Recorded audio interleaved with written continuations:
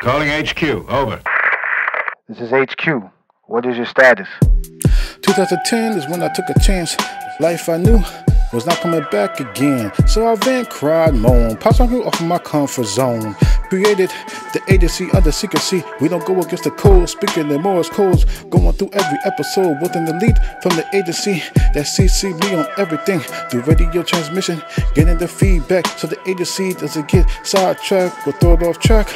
We don't chase dreams, we try to end these nightmares that put us in despair. Everything is a top secret. The only way to stay alive is to keep it a secret. We don't reveal, we keep it concealed. Our dialogue is to follow the protocol with a rapid fire. When it's an agent under fire, my elites go undercover. Doc that agency files, new agenda, new objectives. Every elite is a secret weapon. Emissary left in the episode is what every elite stands for. Every mission has a purpose. Calling HQ. Over. This is HQ. What is your status?